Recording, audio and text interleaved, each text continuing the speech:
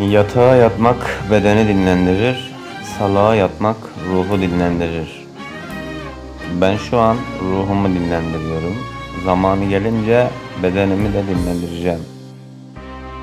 Haberiniz ola.